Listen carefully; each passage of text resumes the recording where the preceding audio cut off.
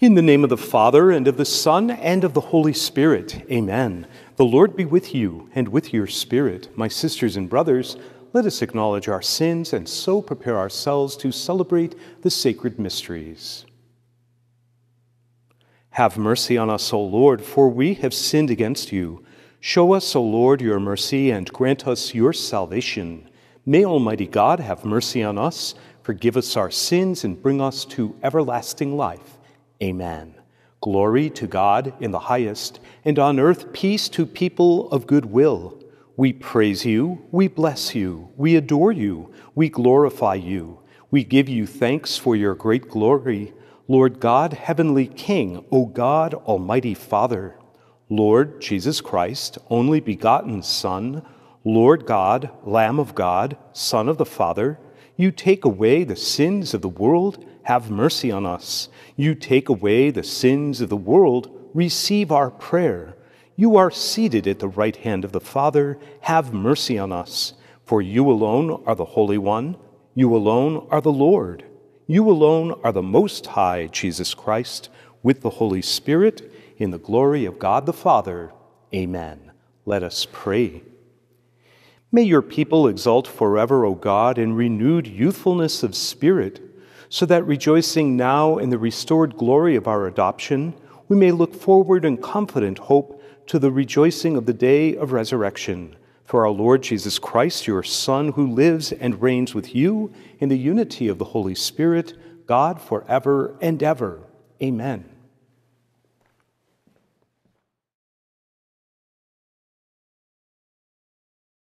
A reading from the Acts of the Apostles.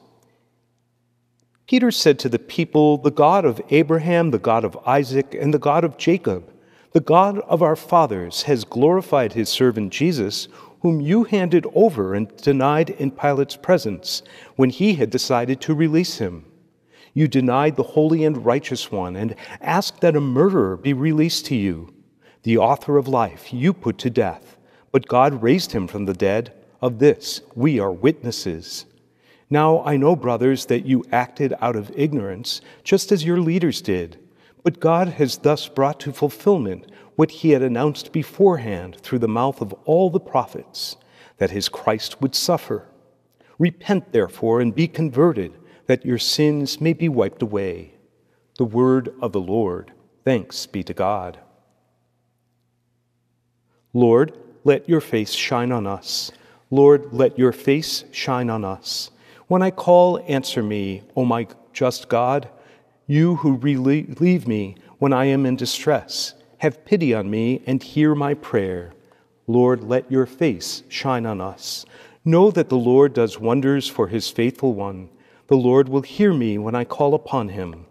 Lord, let your face shine on us. O Lord, let the light of your countenance shine upon us. You put gladness into my heart. Lord, let your face shine on us. As soon as I lie down, I fall peacefully asleep. For you alone, O Lord, bring security to my dwelling. Lord, let your face shine on us. A reading from the first letter of St. John. My children, I am writing you this to you so that you may not commit sin. But if anyone does sin, we have an advocate with the Father, Jesus Christ, the righteous one. He is expiation for our sins, and not only for, for our sins only, but for those of the whole world. The way we may be sure that we know him is this to keep his commandments. Those who say, I know him, but do not keep his commandments are liars, and the truth is not in them. But whoever keeps his word, the love of God is truly perfected in him. The word of the Lord. Thanks be to God.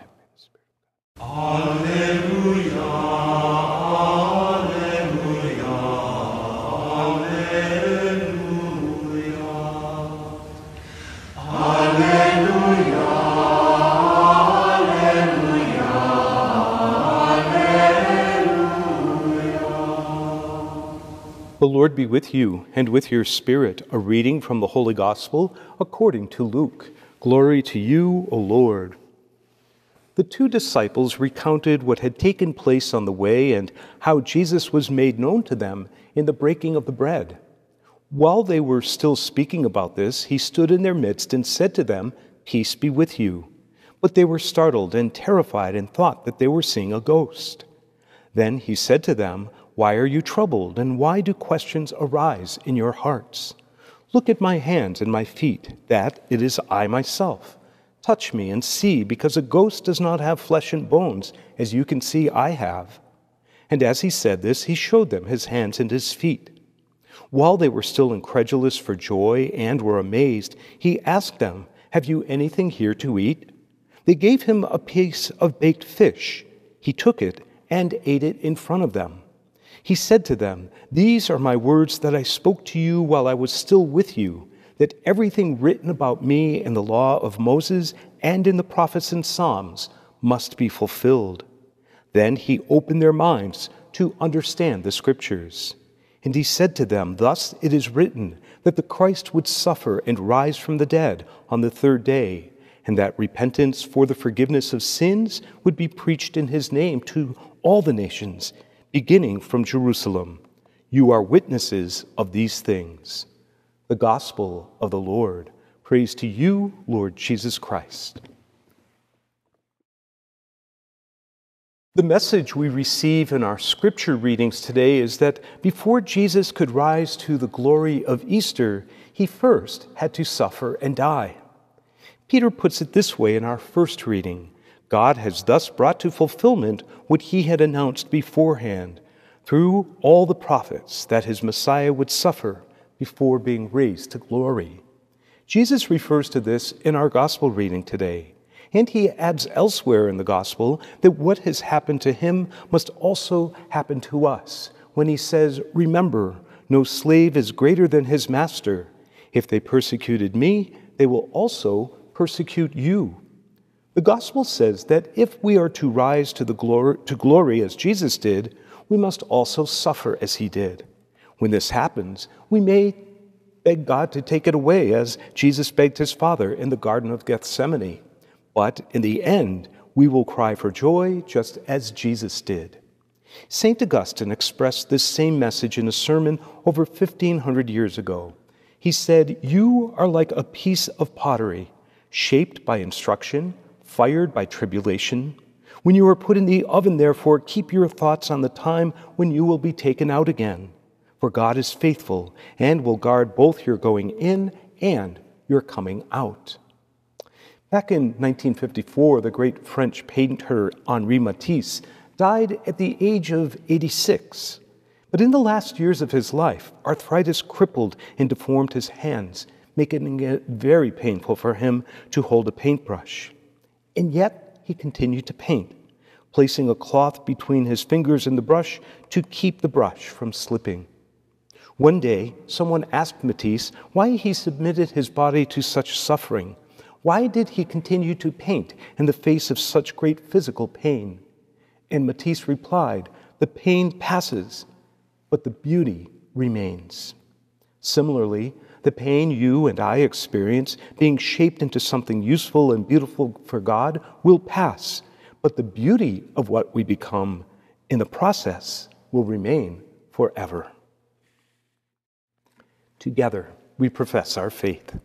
I believe in God the Father Almighty, creator of heaven and earth, and in Jesus Christ, his only Son, our Lord, who was conceived by the Holy Spirit, born of the Virgin Mary, suffered under Pontius Pilate, was crucified, died, and was buried. He descended into hell. On the third day, he rose again from the dead. He ascended into heaven and is seated at the right hand of God the Father Almighty. From there he will come to judge the living and the dead. I believe in the Holy Spirit, the holy Catholic Church, the communion of saints, the forgiveness of sins, the resurrection of the body, and life everlasting. Amen. In the joy of this Easter season, in our hope for redemption, we bring these prayers before our Almighty Father. For the Church throughout the world, that we may recognize the presence of Jesus in our lives, we pray to the Lord. Lord, hear our prayer for the leaders of nations, that they may work tirelessly for justice, for all people, and for peace. We pray to the Lord. Lord, hear our prayer For ourselves, that the joy we experience this Easter season may strengthen our faith in the resurrection of the dead, we pray to the Lord. Lord, hear our prayer. For birthday blessings for Rebecca R. Sanito, we pray to the Lord. Lord, hear our prayer. For those who have died and gone before us in the faith of Christ, we pray to the Lord.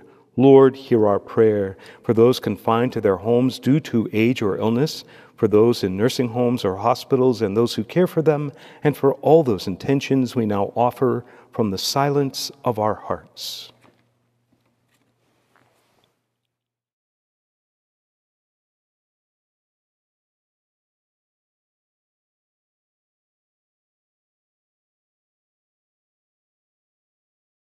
For these we pray to the Lord. Lord, hear our prayer. God of glory, we beg you to hear the prayers we offer you this day and to answer them according to your holy will, and we make them through Christ our Lord. Amen.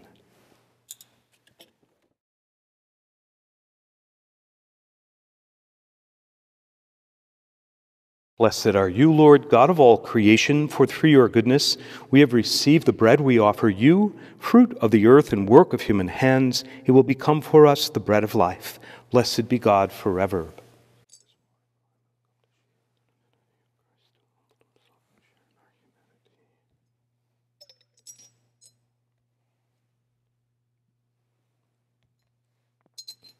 Blessed are you, Lord, God of all creation, for through your goodness we have received the wine we offer you, fruit of the vine and work of human hands. It will become our spiritual drink. Blessed be God forever.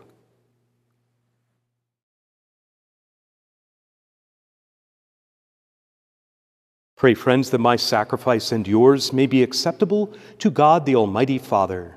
May the Lord accept the sacrifice at your hands for the praise and glory of his name for our good and the good of all his holy church.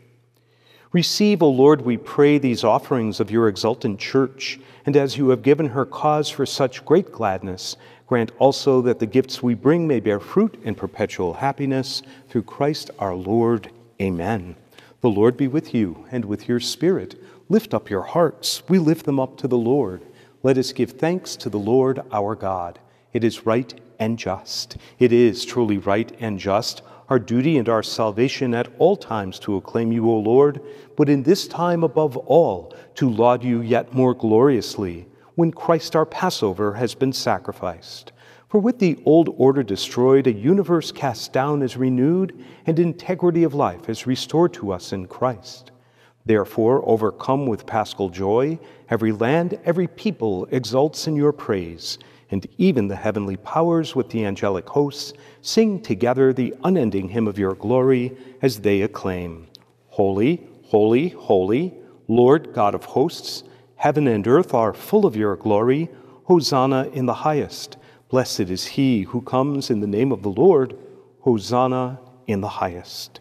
You are indeed holy, O Lord, the fount of all holiness. Make holy, therefore, these gifts, we pray, by sending down your Spirit upon them like the dewfall, so that they may become for us the body and blood of our Lord Jesus Christ. At the time he was betrayed and entered willingly into his passion, he took bread and, giving thanks, broke it and gave it to his disciples, saying, Take this, all of you, and eat of it, for this is my body, which will be given up for you.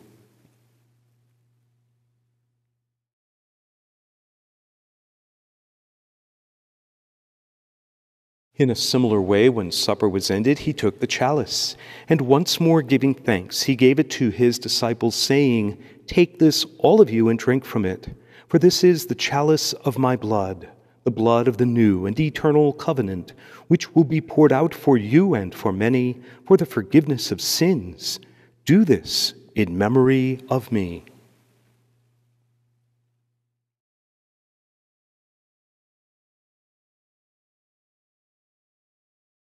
The mystery of faith.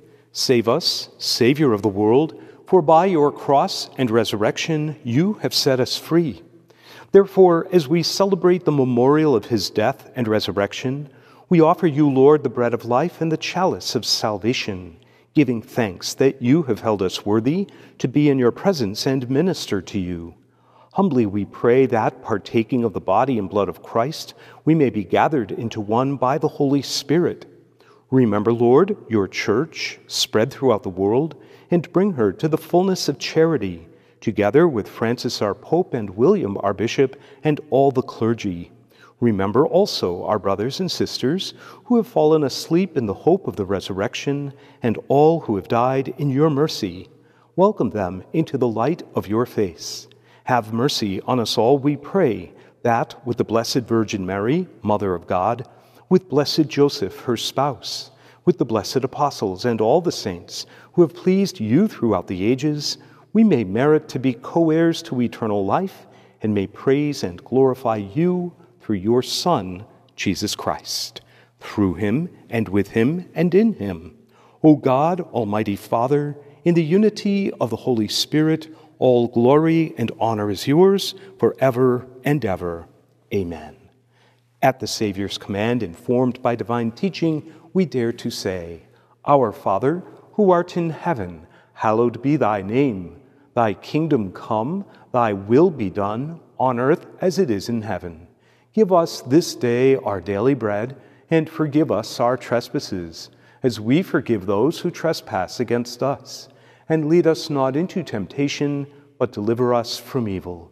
Deliver us, Lord, we pray, from every evil. Graciously grant peace in our days, that by the help of your mercy we may be always free from sin and safe from all distress, as we await the blessed hope and the coming of our Savior, Jesus Christ. For the kingdom, the power, and the glory are yours now and forever. Lord Jesus Christ, who said to your apostles, Peace I leave you, my peace I give you. Look not on our sins, but on the faith of your church, and graciously grant her peace and unity in accordance with your will, who live and reign forever and ever. Amen. The peace of the Lord be with you always, and with you, your spirit. Agnus Dei, qui tolles peccata mundi, miserere nobis. Agnus Dei, qui tolles peccata mundi, miserere nobis.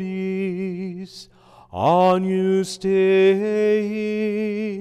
qui tolles peccata mundi, dona nobis pacem. Behold the Lamb of God, behold him who takes away the sins of the world. Blessed are those called to the supper of the Lamb. Lord, I am not worthy that you should enter under my roof, but only say the word, and my soul shall be healed.